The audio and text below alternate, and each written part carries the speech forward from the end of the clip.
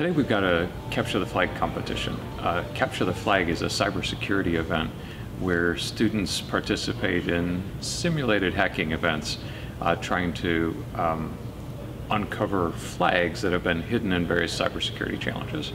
There isn't enough uh, students, there isn't enough people going into our field studying about uh, cybersecurity or even just general engineering.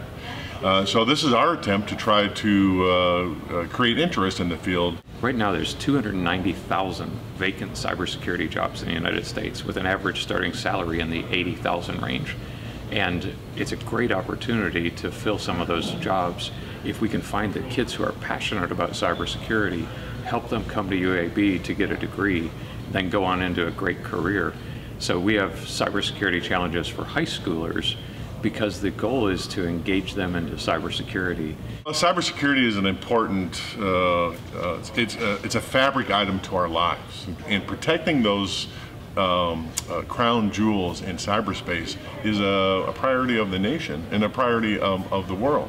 And we need smart people to get that done. Um, and so uh, we're very happy to be partnering with the University of Alabama at Birmingham to try to increase the workforce and get the smart people into our field.